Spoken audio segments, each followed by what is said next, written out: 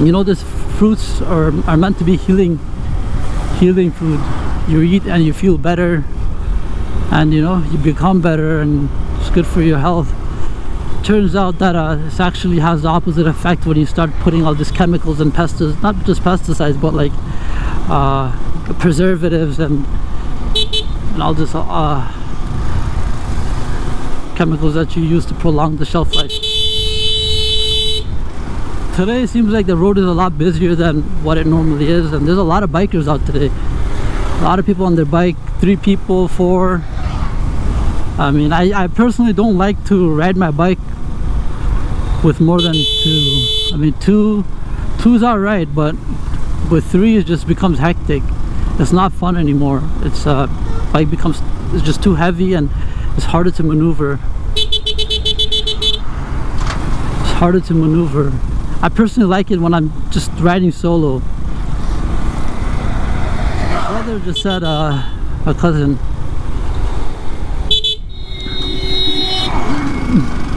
he doesn't like uh, uh, aftermarket exhausts because they're too loud and you know they're pretty rebel-like. I mean, that's the reason why I do like it.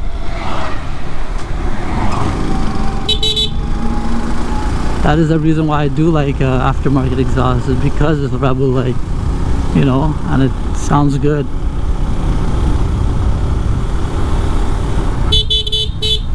Once you're moving this this helmet isn't so bad. I mean uh, it's got like a couple vent holes in the front and few in the back for the air to channel through and kind of cool down now this helmet actually feels much more native to my head and feels like it kind of belongs uh, in my head. In the beginning it was tough.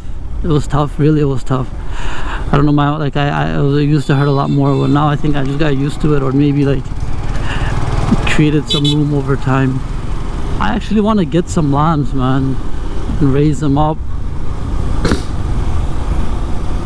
I think it's pretty cool. Like goats farm animals chickens ducks and you know just kind of live like that. I think it's super dope to be honest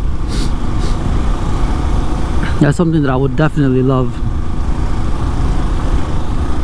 The reason why I, I really like them so much is because I actually love their meat. They taste good man. And there's nothing that I taste better than like lamb meat. It's so soft. It's, it's, it's, it's not like anything else.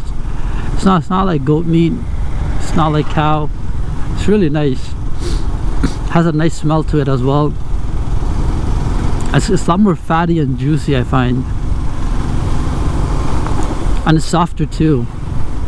So lamb meat.